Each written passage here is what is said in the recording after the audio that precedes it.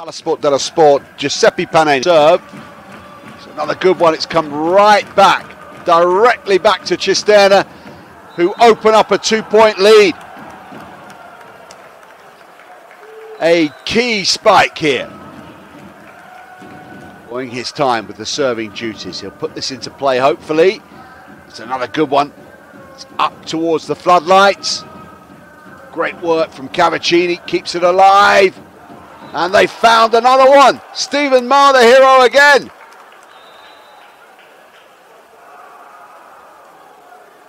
Established now with the serving duties and sends another one in. It's another good one from Stephen Maar. The Canadian's on fire. It's blocked. It's recycled by Modena. They can't kill the point. Can Cisterna kill it off here to the back of court? Got across here, so not much opportunity for Modena. Great work from Cisterna. High. Somehow they've kept it alive. It's out. And another one for Cisterna. Heads in hands all around what they're witnessing here.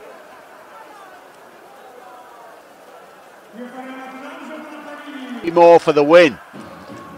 Stephen Maar again. Oh, has he got an ace? I think he has. 13-8. What a serve from Stephen Maar. High ball toss. And it's on the line. An ace from the thrilling contest. Maar again.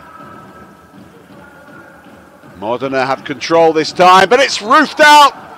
And it's match point for Cisterna. Unbelievable final set. Two out, match point Cisterna. Oh, he served another ace. What a way to finish. Stephen Maar wraps it up for Cisterna with another banger of a serve. Look at that. They watched and it sailed between the men and landed in and Stephen Maar is rightly the centre of attention for the Cisterna side after a brilliant conclusion. And there's silence now around the uh, Palapanini. Top volley, Cisterna have beaten Leo Shoes Perkin Elmer Modena by three sets to two, winning the final set by 50.